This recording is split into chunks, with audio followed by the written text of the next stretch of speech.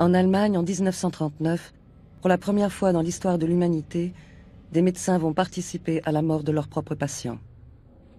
Comment sont-ils arrivés là?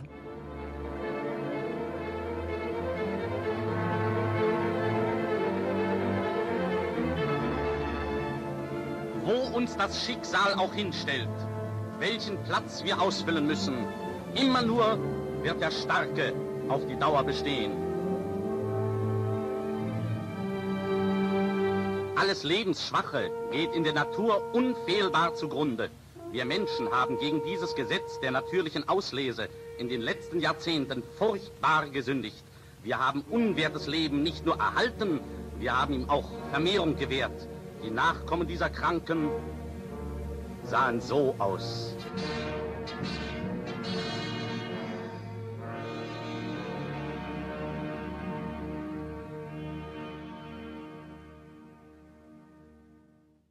Vous, Julius Halleforden, neurologue allemand, devez vous rendre en 1953 à Lisbonne au Congrès international de neurologie. Votre notoriété repose entre autres sur l'exceptionnelle collection de cerveaux que vous avez constituée pendant votre carrière.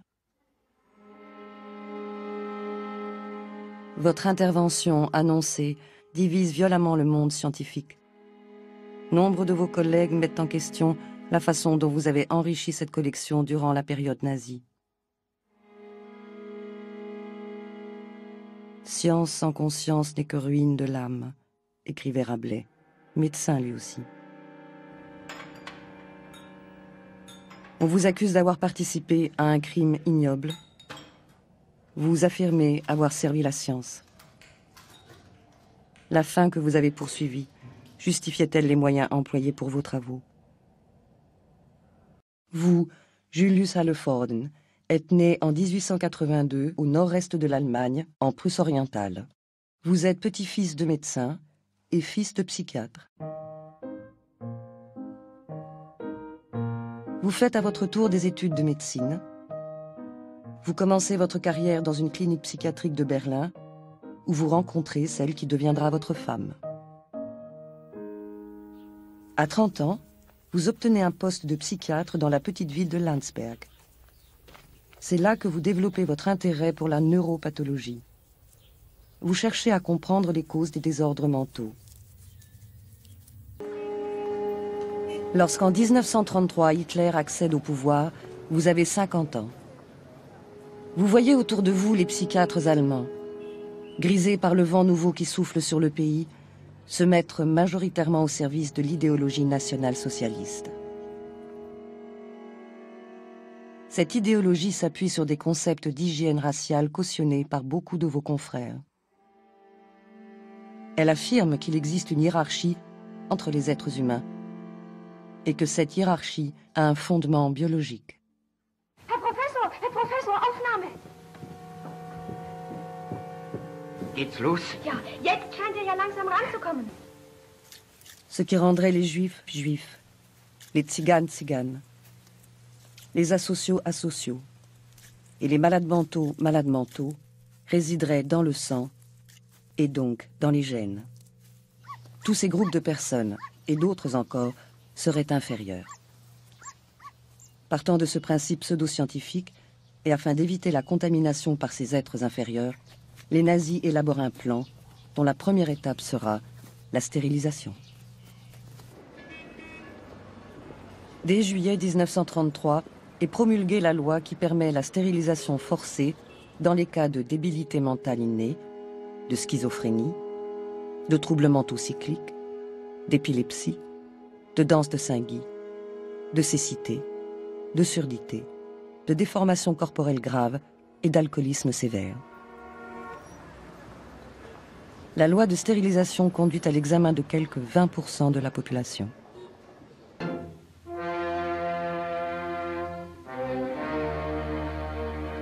La malédiction de gènes malades anéantit le bonheur de familles entières. Deux frères issus d'une lignée de dégénérés. Trois sœurs, dont deux jumelles, toutes trois dégénérées. Les dégénérés ne sont capables de donner la vie qu'à des semblables. le père et la fille, la mère et le fils. Les dégénérés se reproduisent sans vergogne. Leur progéniture, le plus souvent des fous, des criminels, des prostituées. La stérilisation leur permet de ne pas transmettre leur misère à d'innocents enfants. Nous voulons un peuple fort et génétiquement sain. Comme tous les fonctionnaires allemands, vous devez constituer un dossier généalogique qui certifie que vos grands-parents paternels et maternels, vos parents et vous-même êtes protestants. Il en va de même pour votre femme, sur trois générations. Vous n'avez donc aucune ascendance juive. Les instituts scientifiques et les hôpitaux reçoivent une lettre du ministère de l'Intérieur du Reich qui exige, comme pour toute la fonction publique, que soient renvoyés les chefs de service et assistants juifs et demi-juifs. Les stérilisations ont commencé. Les dossiers sont soumis à un tribunal dit de santé héréditaire constitué de deux médecins et d'un magistrat. L'intéressé apprend seulement à l'audience de quoi il s'agit. Il n'a pas le droit de consulter son dossier. Certains de vos propres patients sont stérilisés, les adultes comme les enfants. Avec le serment d'Hippocrate, ne vous étiez-vous pas engagé à ne pas faire de mal à vos patients?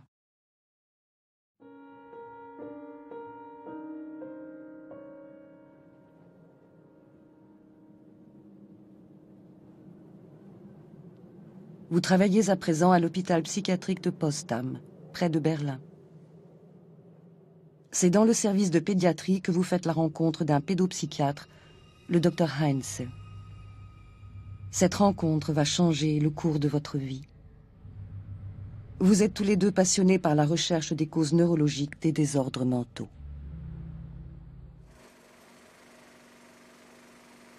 Dans les hôpitaux psychiatriques comme celui où vous travaillez, des tournages sont organisés autour des cas physiques les plus spectaculaires. Les personnes sont filmées et éclairées de manière à susciter chez le spectateur un sentiment d'effroi. À force de propagande, l'opinion publique devient hostile aux handicapés.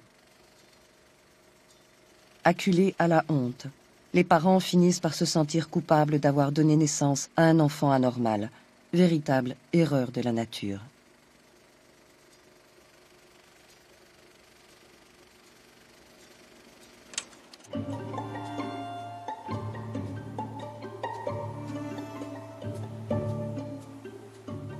Les nazis considèrent la maladie comme le symptôme d'une discipline sociale insuffisante et comme un manque de dévouement à la communauté.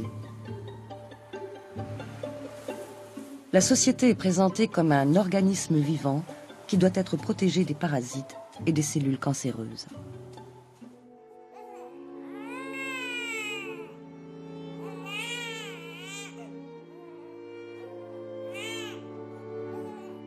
La communauté du peuple doit être pure pour pouvoir atteindre l'objectif ultime, préserver la race des seigneurs. Avec le slogan Vous devez être en bonne santé pour le peuple et pour l'État avec leur obsession de la jeunesse, de la santé et du travail, les nazis font de la maladie un crime.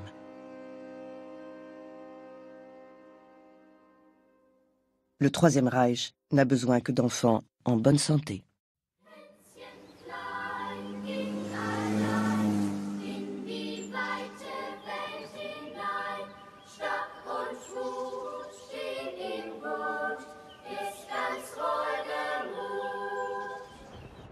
Tout le monde devait être performant, physiquement et mentalement. Il n'y avait de place pour personne d'autre. Ce n'était pas une idée nazie. Cette idéologie, l'eugénisme, l'hygiène raciale, existait bien avant Hitler. Les eugénistes, dans les années 20 en particulier, et même avant, avaient déjà préparé le terrain. Le corps médical allemand n'attendait que Hitler pour mettre en œuvre ce plan insensé débarrasser la nation allemande de tous ceux qui ne méritaient pas de vivre. Si vous ne répondiez pas à leurs critères, si vous n'étiez pas utile à la société, alors vous n'aviez pas le droit de vivre.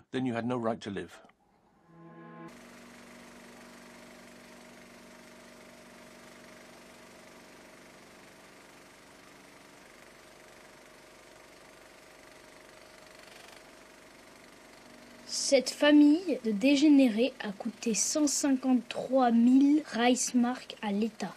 10 200, 13 800, 29 016, 30 800, 62 300, 86 450% 112 millions, 1,2 milliard.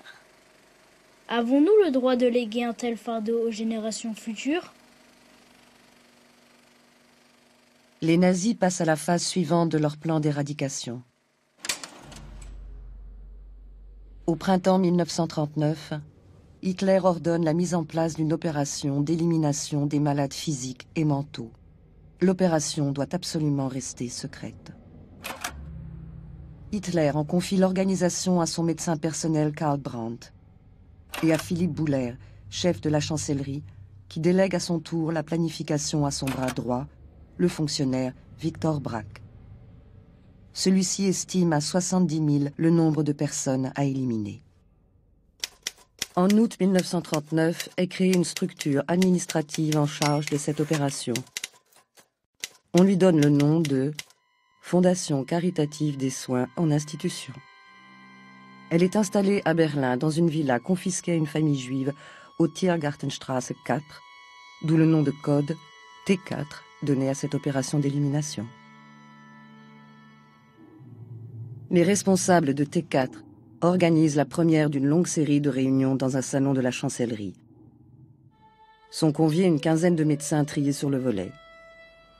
Parmi eux, votre ami le docteur Heinz, directeur de l'hôpital psychiatrique de Gordon.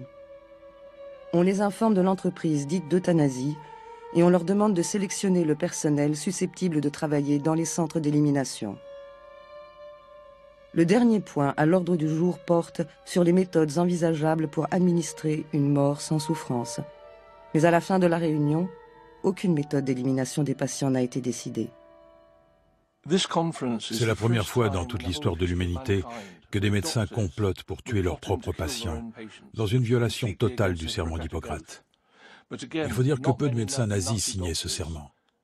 Karl Brandt disait vous pouvez accrocher le serment d'Hippocrate au mur du bloc opératoire, personne ne le lira.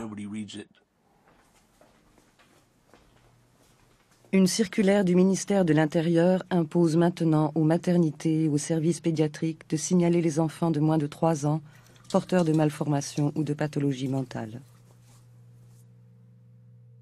Les formulaires, qui tiennent sur une page, sont étudiés et annotés par des médecins qui ne voient pas leurs victimes. Un plus les condamne, un moins leur accorde la vie sauve.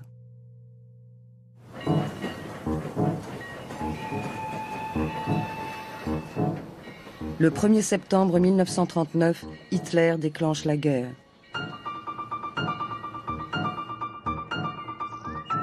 L'opération T4 peut entrer dans sa phase finale. Les stérilisations forcées s'arrêtent, l'élimination des handicapés commence. À l'hôpital psychiatrique de Gurdon, comme ailleurs, on assassine d'abord les enfants, soit en leur injectant une surdose de phénobarbital, soit en les laissant mourir de faim. L'opération est rapidement et toujours secrètement étendue aux adultes. Le critère pour les meurtres n'était pas la santé génétique. Il y avait un formulaire où l'on posait trois questions. Cette personne est-elle capable de travailler et dans quelle mesure? Depuis quand est-elle internée? Et troisième question, de qui reçoit-elle de la visite et à quelle fréquence?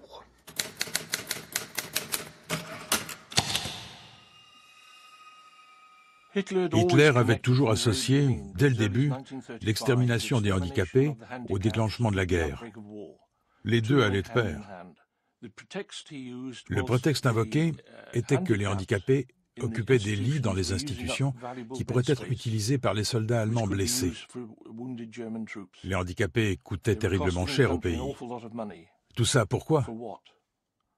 Le document qu'il a fini par signer, un peu sous la contrainte, a été accepté par la plupart des gens comme un décret légal. Il ne l'était pas. Le chef de la chancellerie Buller et le docteur Brandt sont chargés sous leur responsabilité d'étendre les pouvoirs des médecins qui seront nommément désignés pour que les malades incurables selon les critères humains puissent, après un examen critique de leur état de santé, voir mettre un terme à leur souffrance. Signé Adolf Hitler. C'est très officiel et très précis. Il ne se perd pas en circonlocution. Il autorise Brandt et Buller à autoriser certains médecins, des médecins choisis, à sélectionner les patients qu'il considère comme les cas les plus graves. Ce n'est pas un ordre de tuer, c'est l'autorisation de choisir ceux qui vont mourir. On recherche désormais dans toute l'Allemagne des hôpitaux psychiatriques adaptés à l'opération. Deux sites sont choisis.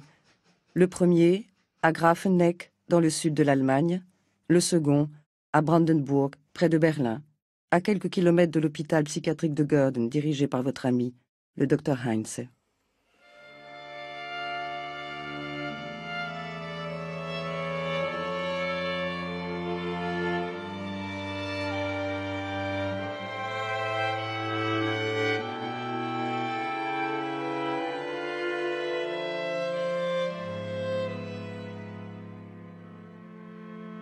Mais un problème se pose toujours. Comment tuer un grand nombre de personnes? Aucune méthode efficace d'élimination n'a été trouvée. Victor Braque, responsable opérationnel de T4, cherche un moyen de tuer qui soit inodore, indolore et surtout d'action rapide. Il demande à Albert Wittmann, chef du département de chimie de l'Institut médico-légal, de lui proposer une solution. C'est à Brandenburg que Wittmann testera sa méthode d'élimination. Quand l'organisation T4 a commencé à réfléchir à une méthode pour tuer, on s'est rapproché de Wittmann et on lui a demandé ce qu'il proposerait. Wittmann a suggéré le monoxyde de carbone. Er Parce qu'il pensait que ce gaz agissait vite et qu'il pouvait tuer d'un seul coup des groupes importants de personnes. Äh, On voulait aussi naturellement trouver une méthode qui permette de maintenir l'illusion d'un acte médical. Ähm, On n'aurait pas pu simplement fusiller les gens. Cela n'aurait plus été médical. On avait besoin au contraire d'une substance chimique qu'on pouvait administrer comme un médicament. On a, à Brandenburg, tout au début, non pas maquillé les chambres à gaz en douche, mais en salle d'inhalation. Les gens devaient s'asseoir et inhaler. Il s'agit là du seul film existant d'un gazage.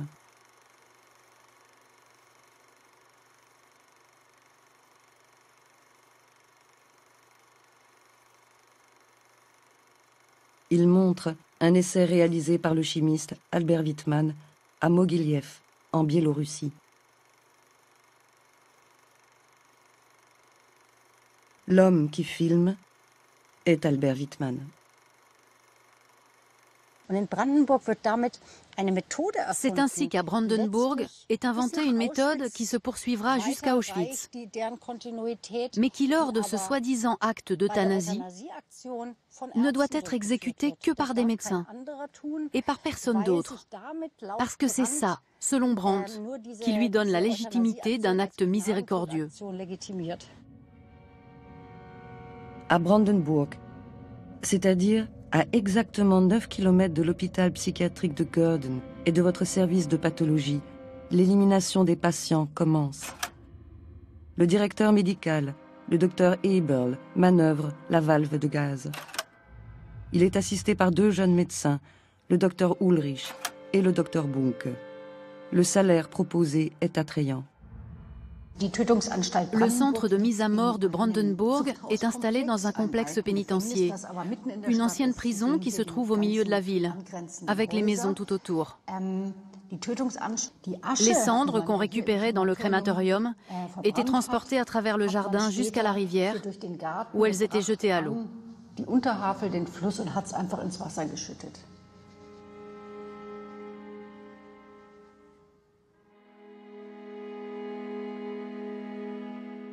À quel moment le docteur Heinz vous a-t-il informé de l'extermination des patients? Qu'en avez-vous pensé? Qui a eu l'idée de récupérer les cerveaux des personnes assassinées? Toujours est-il que vous, Dr. Halleforden, saisissez cette opportunité pour alimenter vos recherches scientifiques. Après-guerre, vous déclarerez aux médecins experts auprès du tribunal de Nuremberg J'ai appris ce qu'ils s'apprêtaient à faire, alors je suis allé les voir et je leur ai dit Écoutez, les gars, si vous tuez tous ces gens, au moins prélevez les cerveaux afin qu'on puisse utiliser ce matériel. Ils m'ont demandé Combien pouvez-vous en examiner? Je leur ai alors dit Un nombre illimité. Plus il y en a, mieux c'est.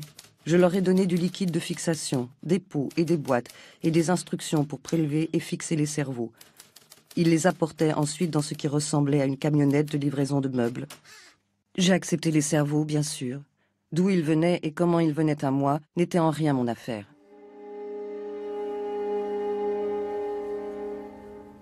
Êtes-vous sûr que ce n'était pas votre affaire? N'est-ce pas justement là que vous vous fourvoyez?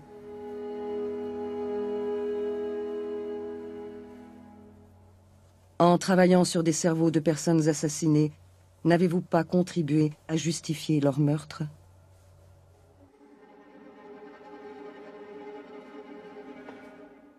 L'opération T4 prend de l'ampleur.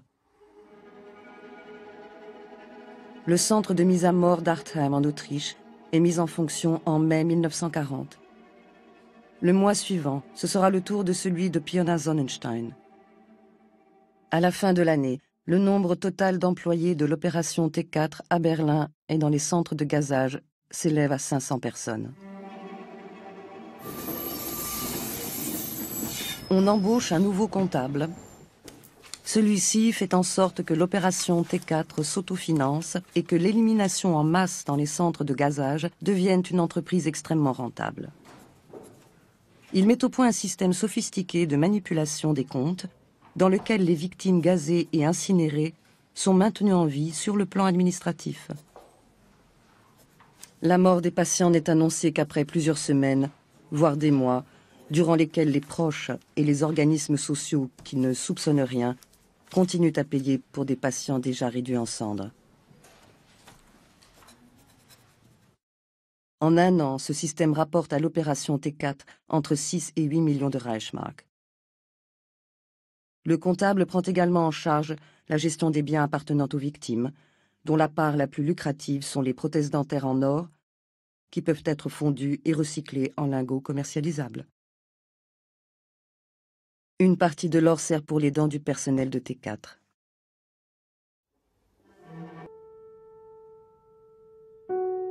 Au cours des dix mois où l'ancienne prison de Brandenburg servit de centre de gazage, il y eut 9772 victimes. Lorsque les autobus venaient chercher les patients pour les conduire à Brandenburg, beaucoup paniquaient. Nombreux étaient ceux qui montaient dedans en étant conscients de ce qui les attendait. Certains faisaient des adieux déchirants à leurs infirmières. Bonne chance, nous ne reviendrons pas. Ou nous nous reverrons au ciel. D'autres demandaient au personnel du convoi Pensez-vous vraiment que nous soyons si stupides? Nous savons bien que c'est un autobus de la mort. Certains patients se débattaient en hurlant Je veux vivre, je veux vivre. Ils étaient menottés et réduits au silence par une injection de tranquillisant. Ce qui se passait ensuite dans les chambres à gaz était peut-être inodore, mais ça n'avait rien d'indolore.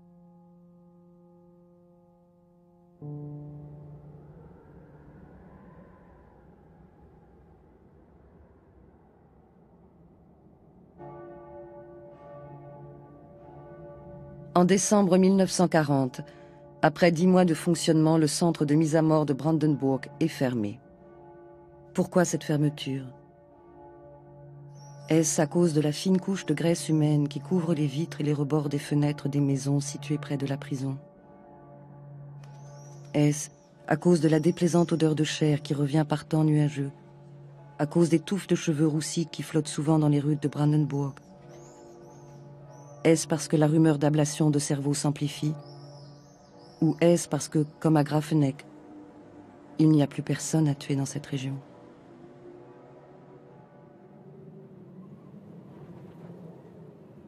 Lorsque Brandenburg ferme, la majeure partie du personnel, soit une centaine de personnes, est transférée dans le nouveau centre qui s'ouvre à Bernburg, dans le sud-ouest de Berlin. Grafeneck ferme. Un autre centre s'ouvre à Hadamar. Le docteur Eberl et le docteur Bunke continuent de prélever des cerveaux pour votre collection. Le 24 août 1941, Hitler téléphone au docteur Brandt pour lui donner l'ordre d'interrompre l'opération T4. Qu'est-ce qui a pu provoquer cette décision? Est-ce la rumeur qui s'amplifie? Est-ce la lettre du pasteur Paul Braun ou le sermon de l'évêque de Münster, Monseigneur von Galen? On ne le saura jamais. Hitler, en prenant ses distances à l'égard des éliminations, réussit à faire croire qu'il n'était pas au courant des assassinats. Il est probable que le trouble dans la population soit ici l'élément déclencheur. Mais on sait également que cette opération ne s'est jamais vraiment arrêtée. Parce qu'après l'opération T4, au sens strict, à savoir les meurtres par gazage, beaucoup plus de personnes sont mortes de faim ou empoisonnées par des médicaments. À ceci près que la chose n'était plus organisée de manière centralisée, mais avait lieu dans de nombreux endroits du Reich, dans les hôpitaux, comme si cela faisait partie des pratiques thérapeutiques. Donner la mort était devenu une activité journalière normale. Mais l'une des raisons pour laquelle Hitler décida l'arrêt de l'opération T4 ne fut-elle pas qu'il se préparait une autre opération, d'une bien plus grande envergure? À l'été 1941, alors que les massacres par balles des Juifs de l'Est de l'Europe battent déjà leur plein, les responsables de la solution finale cherchent un moyen industriel d'extermination en masse. Pour ce faire, ils vont exploiter l'expérience acquise par les équipes de T4. Début décembre 41, un premier groupe de 15 hommes issus de l'opération T4 arrive en Pologne. Ils doivent porter l'uniforme SS, même si ce sont des civils, en majorité des infirmiers psychiatriques des centres d'élimination en Allemagne. Parmi eux, un seul médecin, le docteur Eberl, qui dirigeait auparavant Brandebourg et Bernburg en Allemagne. Il est intéressant de noter que les deux opérations se confondent en utilisant exactement le même personnel. En tout, une centaine d'hommes de T4 sont transférés à l'action Reinhardt, passant de l'extermination des handicapés en Allemagne à l'extermination des Juifs ici, en Pologne.